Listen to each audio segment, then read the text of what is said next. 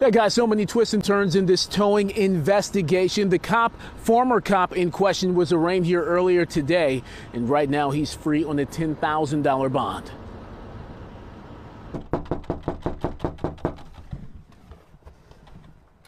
Hey, sir, what have you to say about these uh, bribery allegations? Sir, I have no comment right now. I'll have my lawyer reach out to you as soon as possible. A former Detroit police detective charged with bribery in a sprawling FBI towing investigation. According to the feds, 44 year old Michael Pacteles accepted bribes, including a car for his daughter and more than $3,000 in cash from an unnamed towing company operator over the course of six months in 2019, all while working for DPD. In return, Pacteles allegedly agreed to provide favors for that operator. For example, instead of properly recovering stolen vehicles from the towing company's possession, Pacteles removed them from the DPD database that showed they were stolen.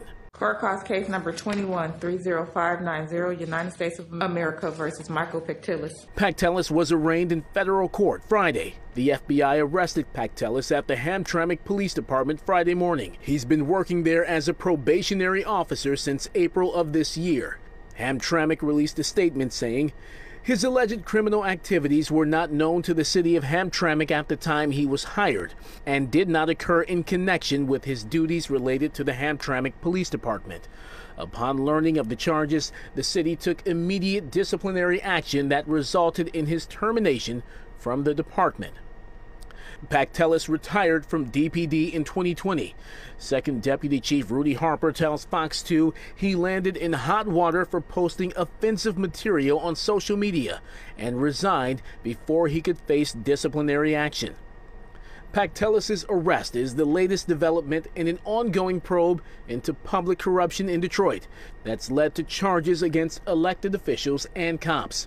Last month, a retired Detroit police officer who ran DPD's car auctions for more than a decade pleaded guilty to accepting bribes. In September, former city councilman Andre Spivey pleaded guilty to bribery conspiracy. Is it frustrating to hear that a former Detroit cop is facing charges for bribery from oh, a yeah. towing company. Oh yeah, it's most definitely it's most definitely frustrating because like these these people that we pay our taxes dollars to, they we're supposed to trust. News of the latest twist in the towing scandal frustrates Detroiters like DeAndre Mapp, who for years questioned the city's towing practices. The guy flagged me down, say, "Yeah, come and park here." Then you go park here. You trust me, pay your money. Yeah, your car good. My car good. Your car good. And then you come out from the restaurant or come out from eating, and then you come out your car gone. And that's what happened to you. Yeah, that's what that's what most definitely happened to me. All right, guys, Detroit Police Chief James White says that he fully supports the FBI's investigation and that one officer's alleged actions does not represent the vast majority of Detroit cops.